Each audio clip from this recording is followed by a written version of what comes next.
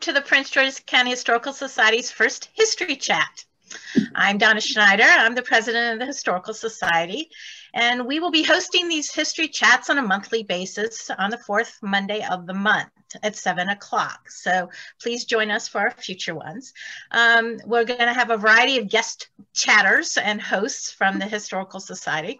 Um, we um, are still trying to finalize our one for next month, but um, we already have, have one we, we have a series of ideas for the next one. So um, you'll be getting more information as those are finalized. Please note that we will be recording this, so please mute yourself um, and turn off your video if you don't want to be captured on camera. Um, if you have any questions, please enter them in the chat box that should be on the bottom of your screen, and we will answer as many questions as possible after the chat concludes. We expect this chat to last approximately an hour with the questions. Tonight's chat is on monuments and memories, and it will be with Maya Davis, and John Peter Thompson will be our, uh, our host tonight. Maya Davis is the legislative liaison and research archivist at the Maryland State Archives, where she consults on statewide projects that document, interpret, and preserve African American history and culture. Maya currently serves as a commissioner of the Maryland Lynching, Truth, and Reconciliation Commission and the Maryland Commission on African American History and Culture. Previously, she served as the interim director of the Banneker Douglass Museum and the Maryland Commission on African American History and Culture, was staff at the City Museum of Washington, D.C., and vice chair of the Annapolis 1864 Commission to commemorate the emancipation of slavery in Maryland. Thank you, Maya, for joining us for our inaugural chat this evening. Um, and John Peter, please begin. Well, thank you very much, uh, everybody, for joining us. And Maya, thank you so much for uh, agreeing to be with me and with uh, society and the members out here as we explore what Maryland Archives is doing and specifically what you're doing. And of course, I'm very interested in the um, history that was passed over when I was in high school and what Maryland Archives and you are doing to bring the rest of history into focus. And I am so delighted to have you here. Thank you so much for having me, John Peter. My first uh, question is a, is a generic one for our audience. I suppose some already know this, but could you briefly describe what is this thing, the Maryland Archives, and in general, and then specifically, what is Maryland Archives doing to bring a light and bringing the history of African American and Black culture, heritage, and history to the general public, uh, historians, lay, or otherwise? Well, thank you. Um, thanks for starting off with a relatively easy question, I think. Um, the Maryland State Archives is essentially the central repository for state records of a permanent value, meaning that um, we receive by law transfers from our county uh, courthouses, registers of wills, for records that are per considered permanent. Um, that includes items like uh, probate records, court records, and um, vital records, which a lot of genealogists tend to use. And we also have a special collections department as well. So that is for um, items that people want to donate, such as private manuscripts, church records, newspapers. We have a whole bevy of items, and we do actually have three-dimensional objects that would be considered material culture at a museum, which a lot of people don't know. Um, we have paintings and sculptures, but typically we do not receive a large amount of um, donations by way of museum material, but we do have a rather large state uh, collection that we oversee through our Artistic Properties Commission. We oversee the uh, State House complex, which includes both State House and Government House, um, which a lot of people don't know. And so we are kind of responsible for the interpretation of both of those buildings. And right now we are in a place where we're trying to bring balance to the narrative of those buildings. Um, for many years, um, different ethnic groups have been left out of the history of that building. Um, and we've been working to get uh, people like Harriet Tubman and Frederick Douglass installed through the statuary there, as well as some of the portraiture there. Um, the portrait of Senator Clarence Blount is actually a reproduction. It's not an original. Uh, we'd like to see some original portraiture actually go into the State House, um, in addition to the plaques of Matthew Henson and others in the building. But, um, you know, we have these huge uh, portraits of the Lord's Baltimore and, you know, we just want to make sure that we're telling a fuller picture of Maryland's history in our state ground buildings. Um, in regards to what we are doing at the Maryland State Archives, the Maryland State Archives does have a legacy of slavery in Maryland uh, department, which I'm a member of that department, and we actually are responsible for documenting um, really much, pretty much the legacy of slavery to freedom in Maryland. Um, the to freedom portion is going to be like our next phase of the work that we do with the Maryland State Archives because we largely have concentrated on 17th to 19th century enslavement in Maryland. Um, and we'd like to see that move forward from Reconstruction into the 20th century. Maya is, um, I know we're in this new normal where everything is virtual, mm-hmm. but uh, when we get out of new normal and go back to old normal or some variation of that, um, will the general public, can the general public actually go in and do work and research in the Maryland Archives? Thanks for asking that, John Peter. I don't know that we'll be returning to an old, well, definitely a new normal. Um, we during the pandemic, we shut down in early uh, March. I think March 13th was my last day in the office at the Maryland State Archives. And then somewhere in the summer, we attempted to reopen our archives building by appointment only. That lasted until October when we were asked to shut down again to the public um, to prevent the spread of COVID. And we have seen quite an uptick in online orders, and we have created an online presence where people can place their orders online. Um, I may get in trouble for saying this, but for people that I knew, like if I could get digital access behind the scenes and send people things, I would do that, which I think the state archivist was definitely fine with us doing that. Um, for those who are in the public, they don't know this. A lot of our records on our Guide to Government Records, which is our catalog, it actually will say available on archives computers only. And that means you have to physically be in the archives building and you know view the records from those computers, but you can't view it from home. If I could access it from home, I would kind of share it out with different individuals um, because we realize the limitations that our doors, our physical doors being closed, put on our patrons. And our patrons have been so dedicated and supported uh, our agency for so many years. We want to make sure that we're doing our due diligence to support them as well. Um, but there is a large amount of material that is not digitized. And so that just kind of creates this barrier that we wish could go away, but we know that we're in a different time. Um, moving forward, we don't have an exact date of when we will reopen, but once we reopen, it will, we will be considering that um, timed, ticketed system so that we can make sure that we're preserving, um, you know, the safety and health, like promoting the safety and health of not just our staff um, and volunteers, but then also the people in our public. What that will look like in the future, we just don't know um, what our capacity is going to be yet until we receive that directive from our governor and legislature.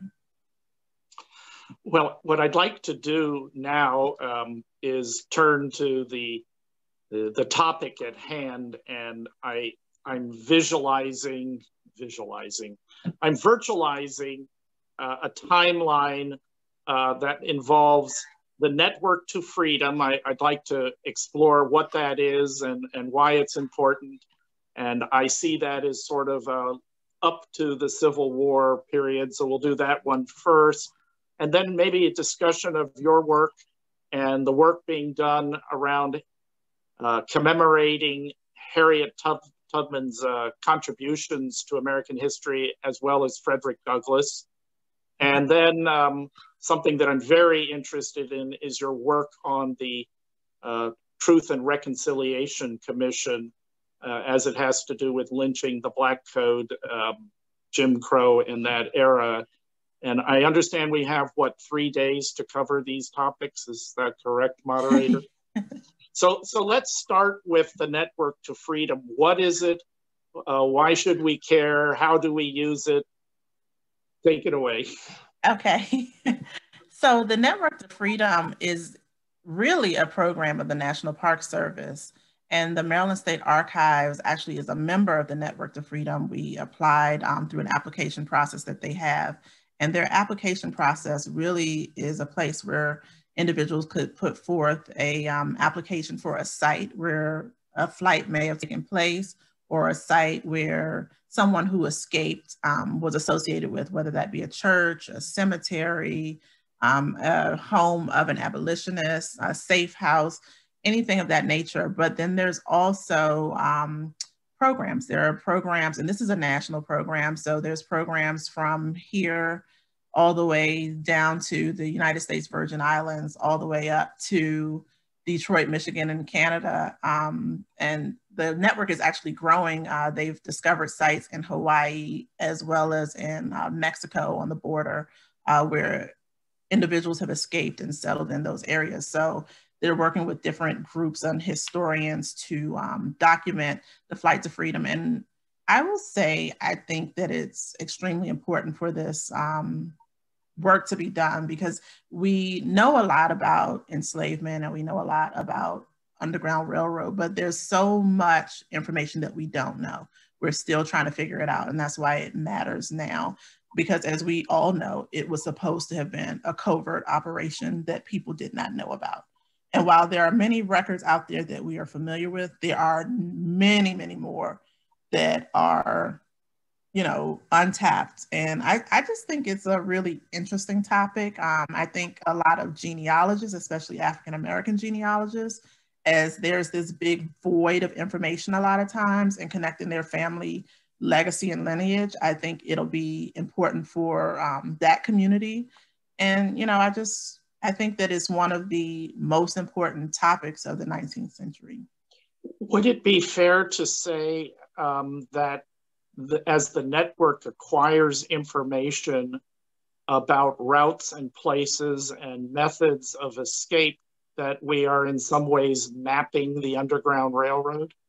We are, and um, the state of Maryland does a really great job um, of keeping track of the directions that they're starting to uncover related to those maps. And they've actually put out maps um, related to the uh, Network of Freedom. And the one thing I forgot to say is I think that a lot of um, cultural institutions would be very interested in knowing is that once you are a member of the Network of Freedom, when they accept your application, you then become eligible for grant funding for your site for things like interpretation. And as you know, grant funding is drying up worldwide and it's just really hard and there's a lot of competition there. And I think the more grant funding opportunities we know about, a lot of this work can be done. Um, for example, the Maryland State Archives, given our staff size, we don't have enough staff to process our records. Almost 80% of our collections are unprocessed. Wow, 80%. Mm-hmm. That that's that's astounding and it shouldn't surprise me. I know other collections and other fields where 80% seems to be the number that's not digitized and not processed. So that's that seems to be a statistic. I want to go back to the Underground Railroad. I, I have a, a, a fascination, I hope that's the right word, of the Underground Railroad and the escape from Prince George's County in southern Maryland. And I'm wondering how much work do you know of that's been done on here in Prince George's County, Charles County, St. Mary's? Obviously, they'd have to come up unless they were on a boat. They'd have to come through Prince George's County to head north. Yeah, Prince George's County is a really unique county. Um, one, in that it holds the largest enslaved population in the state. Um, I feel like I say that at every presentation, and people are probably tired of hearing me say it, but I don't think people think of it in that way. I've, I've met people that actually thought the largest contingent was on the Eastern Shore, and that just wasn't the case. Um, and there wasn't a large free Black population in Prince George's County, so it made it even more difficult. But the one thing that Prince George's County, as well as um, more southern counties like Calvert and Charles, had in their favor is that it bordered Washington, D.C., where there was a large free Black population. So when you look at communities on the Eastern Shore or in counties such as Frederick, you see those people kind of blending into areas like Baltimore or even running further into, you know, places like Pittsburgh and Philadelphia and New York and Canada. But in Prince George's County, we kind of had a luxury of having the free Black community and being able to kind of hide in plain view and hire yourself out. And so that's a story that I find very interesting. I know um, Jenny Masur, who used to be the regional director for our area for the Network to Freedom, um, she actually has done a book on um, Underground Railroad in Washington, D.C. area, and she is actively working on one on Maryland. Um, ah. Yeah, it, it's a lot out there, and Prince George's County is just so unique when I think about um, organizations like the Maryland National Capital Park and Planning, which has all these different historic sites um, like Riversdale, Darnall's Chance, they're all members of the Network to Freedom because they have this Flight to Freedom story. Um, the way that we've kind of supported that effort at the Maryland State Archives is through our grant projects. We have targeted Prince George's County as an area where we would take uh, newspapers and extract all of the runaway ads for a certain time period typically 1830 to 1864 to extract from Prince George's County newspapers or um, the Daily National Intelligencer, and they were part of our database, which I can actually put our um, link to our database in the chat at the end of this chat. Well, that that's um, news to me, and I didn't know about the upcoming book, so I need to stay tuned and and uh, I'm sure our library will, the Society Library will be reaching out when it's ready. Um, the Underground Railroad and the escape to freedom naturally, to me, uh, begs the question or opens the door is a better thing to Harriet Tubman and the work doing um, to memorialize what she did, what she contributed, um, and you know this amazing woman what's happening with her and her place and her routes in history and in Maryland. Okay. Um, I, I want to be honest and forthright with this group.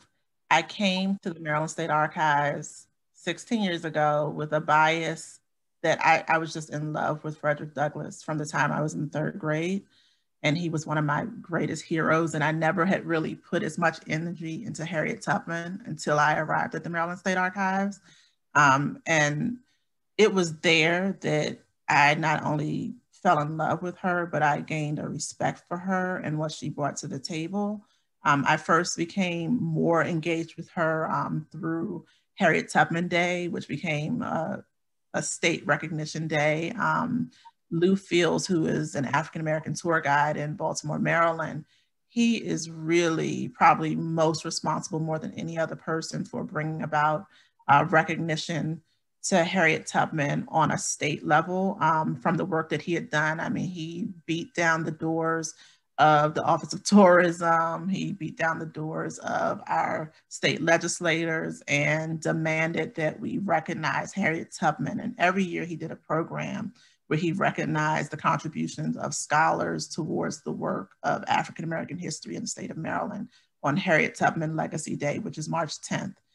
And there, you know, he would always ask us to attend and participate in his program. Can you speak here? Can you tell the public this? And so I kind of got engaged in that way. Um, I also was able to lean in and uh, get to know Kate Larson, who has become a great friend of mine. And she is a biographer of Harriet Tubman and probably has the most um, in-depth account of Harriet Tubman's life in her book, Bound for the Promised Land. And during my time at the Maryland State Archives, um, you know, I have a background in history and museum studies.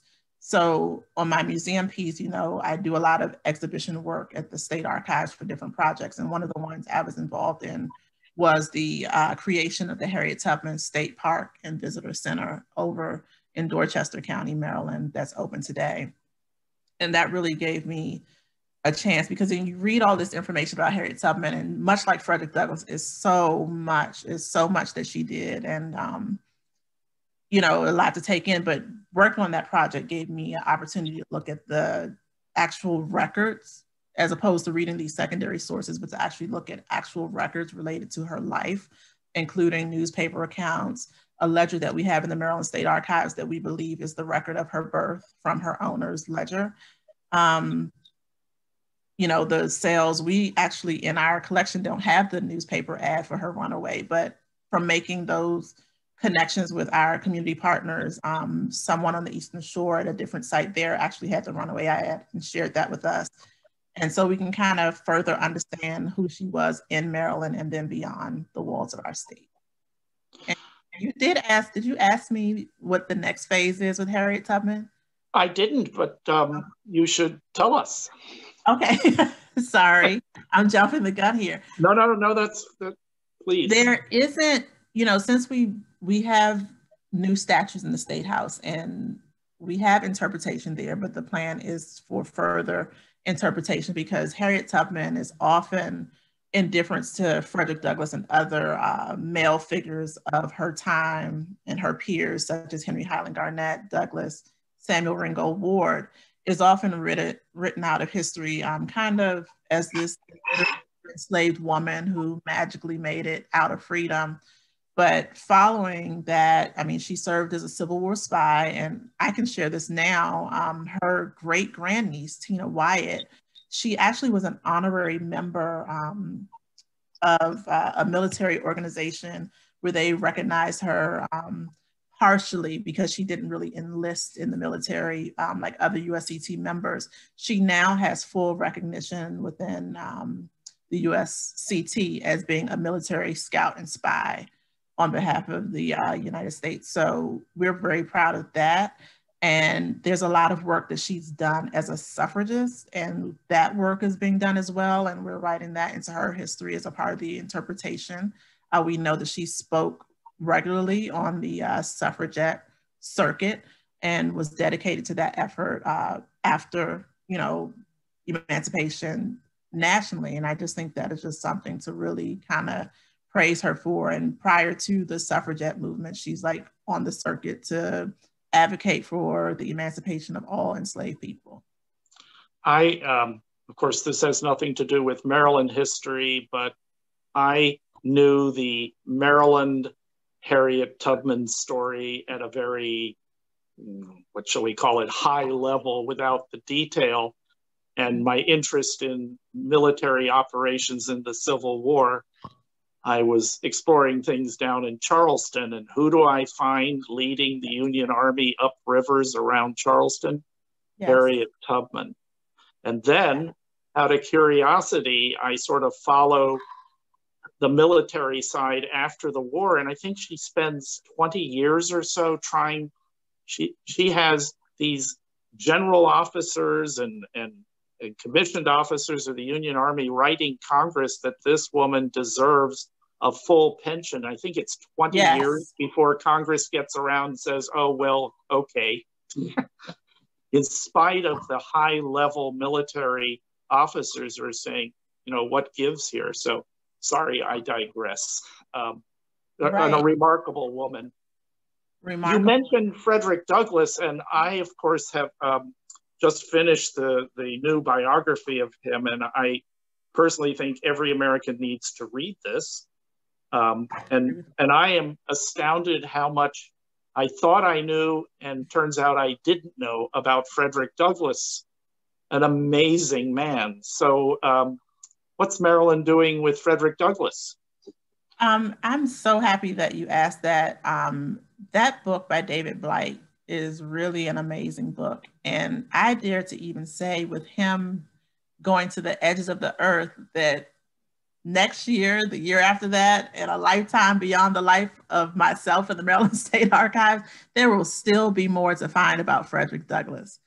It just seems that he touched the edges of the earth, and we just had no idea how vast that was from him being the most photographed person of the 19th century. Uh, the records that have popped up. I, I did a conference that I participated in in Scotland two years ago to commemorate the 200th year of his birth. Um, there's a house that he lived in there. They unveiled signage um, at that home where he stayed when he was in Scotland. But with us, what we're doing, um, we actually installed the two statues of Frederick Douglass and Harriet Tubman. The state actually has um, works towards a park um, for Frederick Douglass, similar to what they have for Harriet Tubman down in uh, Dorchester County. Uh, the Frederick Douglass thing is not, I, right now, being in the moment, it feels like it's not moving as fast as it could, but knowing that the Harriet Tubman projects took us more than 10 years to actually complete. It took us like the bulk of my time here at the archives to actually get it done. Um, it's going to take time. And so, you know, I, am really excited about where we go with Frederick Douglass um, outside of just having their statuary in the State House, which I think was long overdue. Um, that call had been in place long before I even arrived at the State House. But, you know, we have that recognition. And I just think that as we help communities understand who these individuals were, we'll start to see more and more come out of this. Well, I can't resist noting that um, in the last year or so, I, I have the opportunity to have extended calls with uh, diverse political opinions and people across the spectrum. And when it comes to discussion of American history and some of the uh, issues facing us today between received history and additional history, I find myself remembering what I read of Frederick Douglass and pointing out to people, you're, you're reinventing the wheel. Go read Frederick Douglass, replace a few names, and he's talking to you today. It is so amazing to me that you don't have to change, you just change the name of the president or the senator, and it's the same situation. It, he's addressing the issues exactly today. You just change the names, you don't have to change anything else. Well, from Frederick Douglass, I, um, and because of my reading of that and my understanding of the history after the Civil War in this country and in this state, 1876 uh, comes, and here come the Black Codes. Um, when I was in school, there was a paragraph or two that referred to something called Jim Crow, and then we quick, quickly glossed over mm-hmm. whatever that was. Um, and it, it's only in the last 30 or 40 years that as I got into local history and state history that I came face to face with segregation, the Black Code, and Jim Crow, and of course the extrajudicial of enforcement of segregation, which is commonly known as lynching. So I understand that you're a commissioner on a commission. Do you want to tell us a little bit about this commission? Yes, I would be happy to talk about the commission at length because it's what I'm doing most recent at the Maryland State Archives um, in 2019.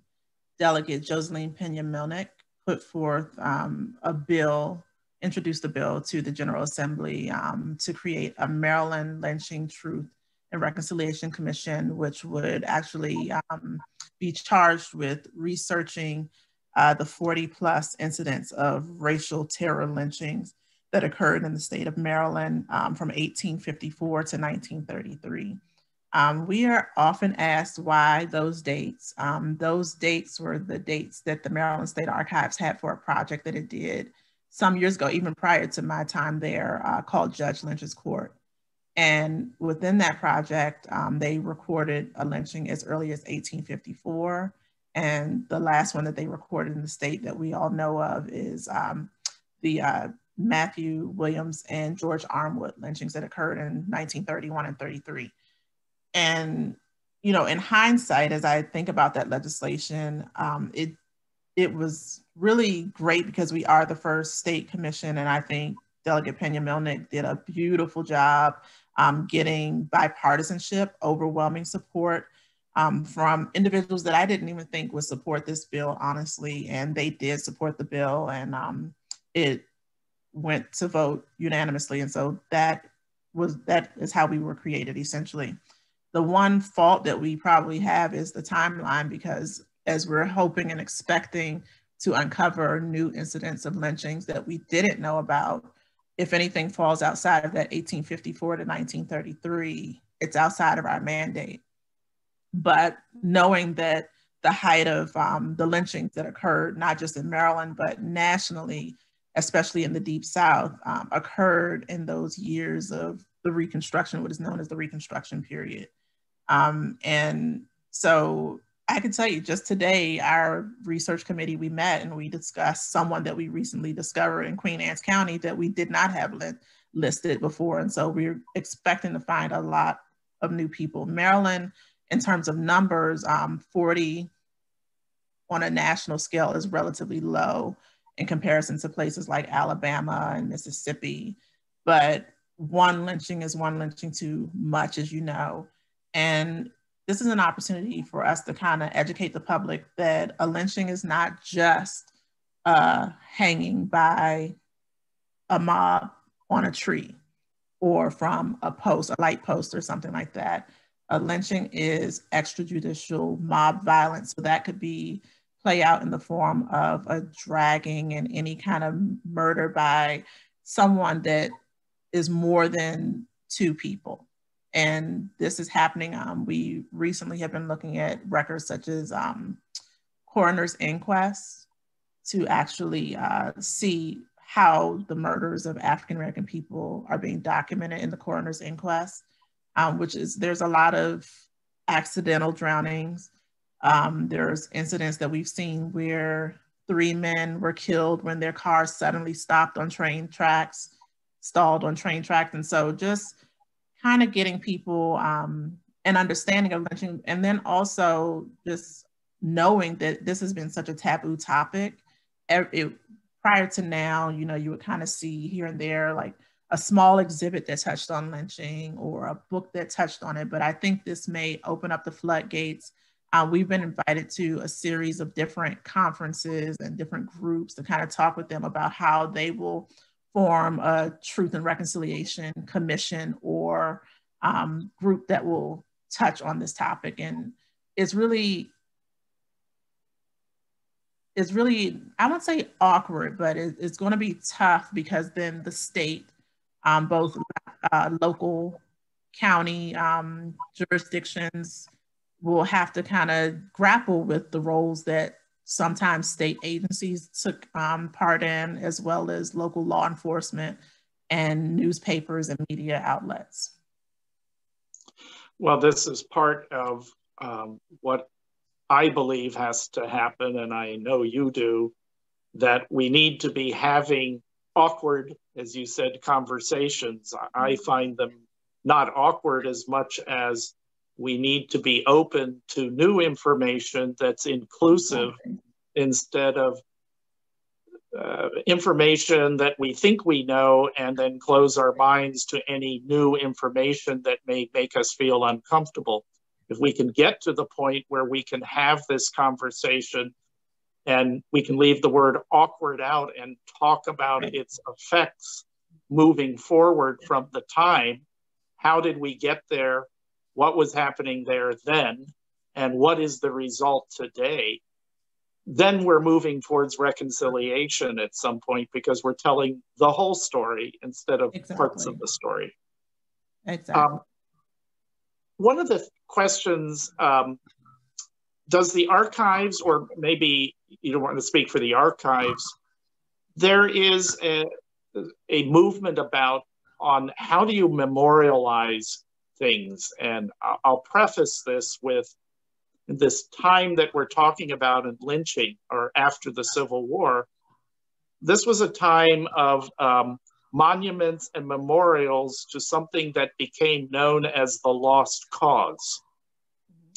So, a community that had power and privilege used monuments to emphasize their story and and glorify their uh, point of view of the history and conveniently leave out from time to time other history.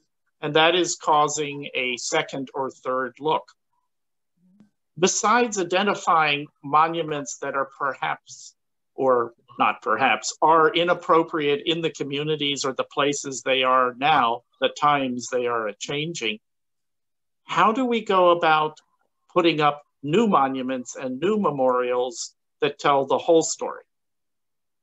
Yeah, What's, how are we going to do that? I, you know, one, I'm going to start by saying I don't know. I'm. I think this is something that we're in the midst of, and it's going to take a lot of conversation and dialogue on what we want to do and where we're going um, as a country. It's really a difficult moment. Um, when I think about lynchings, um, prior to Delegate Joseline Peña-Melnyk introducing that legislation, there had been earlier legislation where people um, from different legislators who wanted to establish lynching memorials in every county in Maryland where lynching took place. And that was not successful um, because, you know, people realized that as you do this information, some people feel um, that the victims who were lynched were outright guilty. And so, you know, if you put something like that in Frederick County, you know, how would people respond to that there if they have a legacy of um, miseducation related to the lynching and how it occurred? Um, and then also reintroducing trauma for victims, families, and communities who were impacted by these racial terror lynchings. Um, I think we're going to have to think long and hard about how we commemorate and memorialize um, the legacy of lynching in our state is going to be very difficult. But um, as I think about the appropriateness of, you know, lost cause memorials and things like that. I'm still trying to grapple with, you know, whether I think it's right or wrong to remove them. Um, the when the Taney statue was removed, um, we caught we didn't catch any flack, but we had a lot of people, you know, trying to immediately replace him, and they thought that we had brought in the Harriet Tubman and Frederick Douglass statues to counter the Taney um, statue that was outside, and actually that actually had been in a prior legislative session when that appropriation was made to actually install the Frederick Douglass and Harriet Tubman statue. And so a year later, when Taney was removed, it had nothing, one had nothing to do with the other. Harriet and Fred were already going to be there, whether he had been removed or not. Um, and so, you know, it was just decided that instead of trying to always replace immediately because we are still grappling with the shock of Taney being removed, um, no matter what side you're on, um, in regards to how you feel about his statue being there. Um, you know, we just decided to kind of leave it blank. Um, I think that, you know, moving forward, we know that museums and cultural institutions are great places to grapple with difficult histories um, and tell a balanced narrative and, you know, just knowing um, being an African American woman, I could say, you know, it is it for years. Like anywhere that I've gone, when I've been on Monuments Row in Richmond, I kind of looked up like, oh my gosh, I mean, that's really in your face, and you know, you kind of have to think about, um, you know, how these monuments and memorials make people feel, and what is the feeling that we're going for moving forward. Well, that, I, that I tell you, I don't have a final answer on that, but you know, just something that we all have to grapple with. That is the I, you've you've um, identified the point that I guess I'm inelegantly making. Monuments are put up to to bring out feelings and I mean, that's the point of them. And it's not only to remember, but to feel the memory and so as we go forward, what is it that we're going to remember and feel? And one of the issues that I, I run into occasionally here in Prince George's County uh, is I, can remember as a, a, member of the Historic Preservation Commission early on um, identifying uh, what we were told was a chicken coop, but we figured out it was probably slave quarters.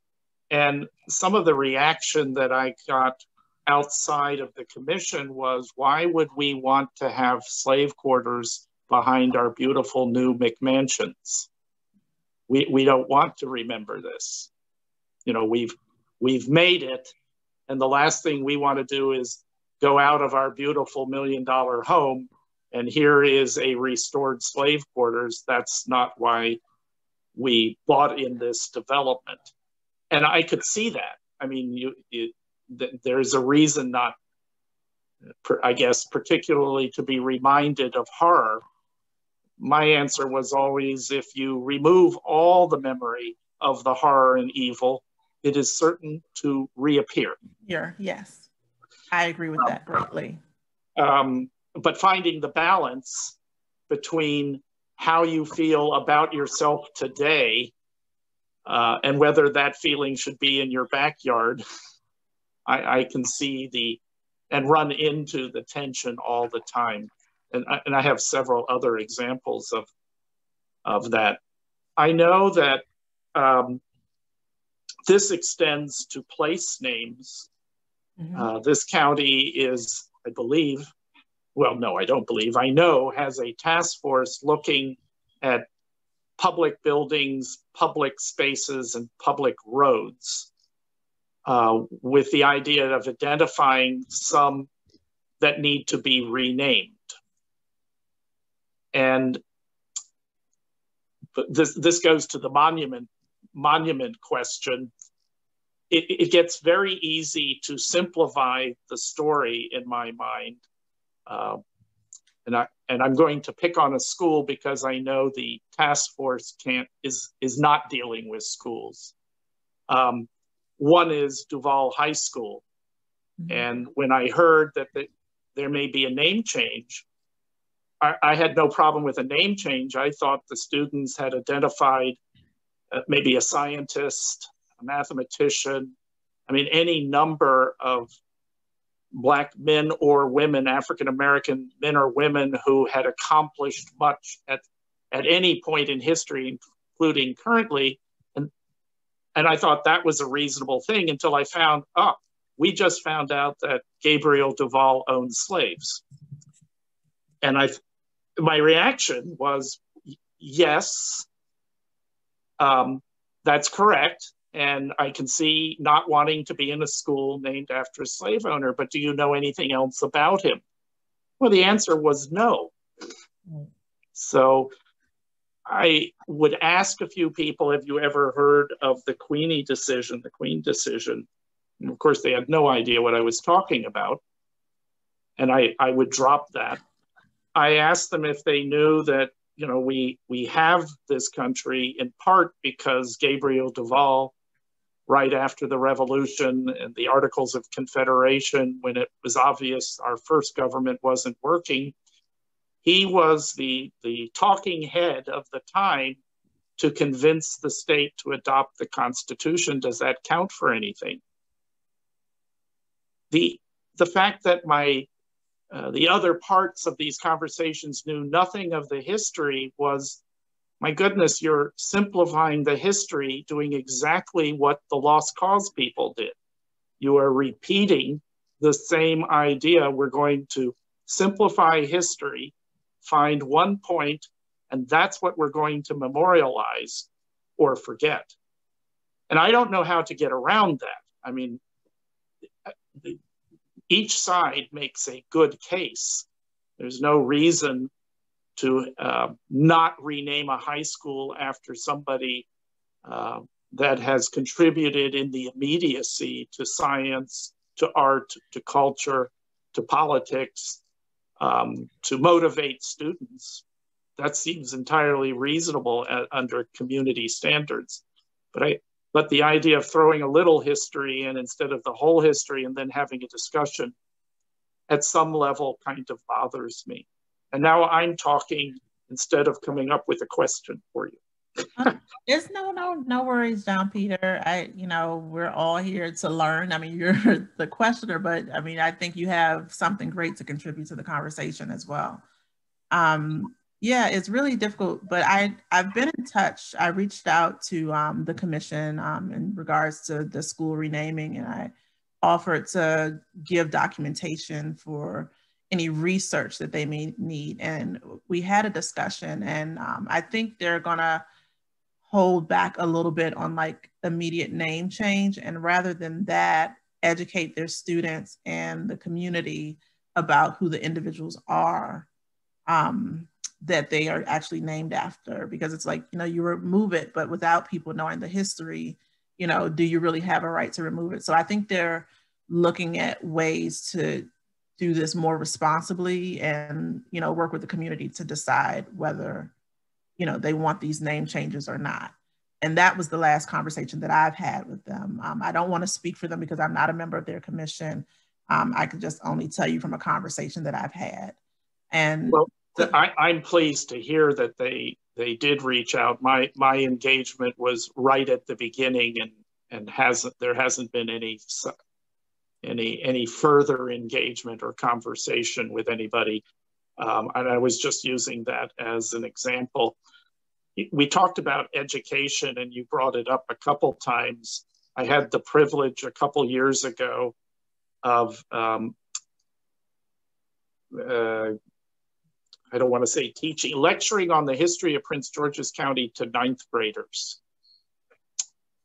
That was a most enlightening experience in the uh, in a long time that I've had. um, I am grateful to the teacher who actually sought me out and gave me the opportunity. And I was appalled um, at the lack of any knowledge of history whatsoever. I had been asked to, you know, start from the beginning, and and as I think I told you, I told the teacher, I don't think that somebody who looks like me, talking to a very diverse class, and starting out with some 300 years ago, old guys that looked like me cut down a bunch of trees, planted an addictive plant with slave labor, was going to keep their attention for 90 minutes. And I tried to do the history backwards in time. And I found that the students um, couldn't even get to busing. They didn't know what busing was. I, I, I wonder how we have this discussion if we can't somehow get history back into public education such that we have a literate uh, community when they get out of school such that they have a base to make decisions.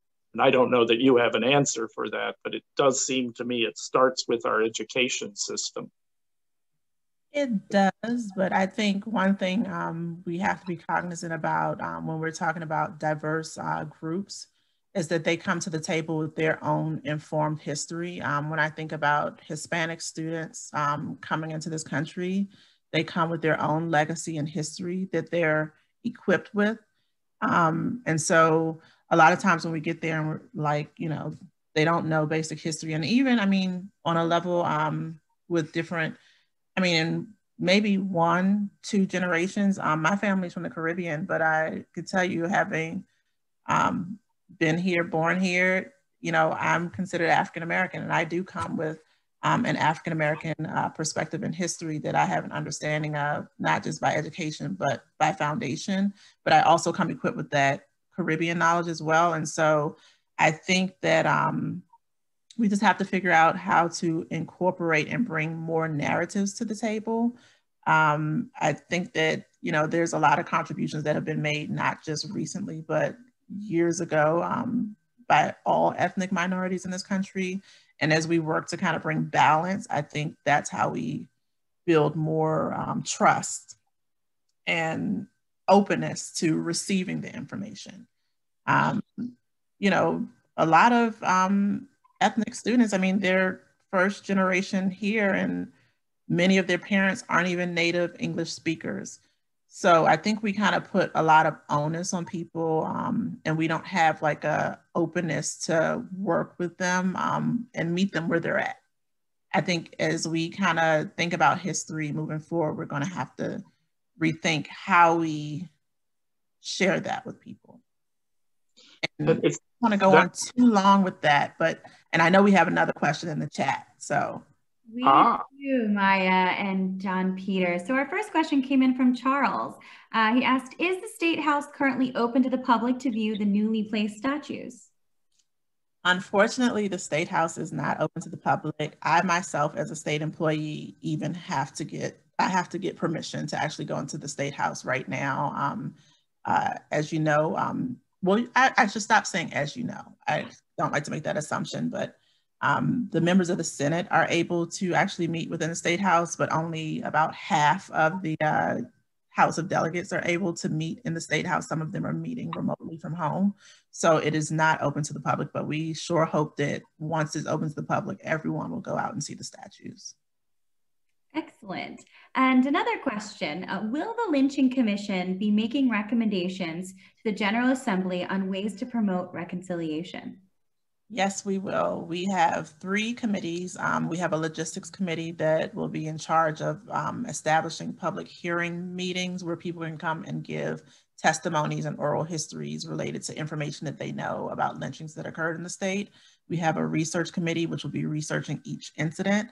And then we also have a reconciliation committee. Um, and we, at the end of our um, life, we are responsible for submitting a report, a final report to the legislature that will include recommendations. And we are open to receive that information from, from the public. So if that person wants to um, actually make recommendations for us to consider and put forward to the legislature, we can do that.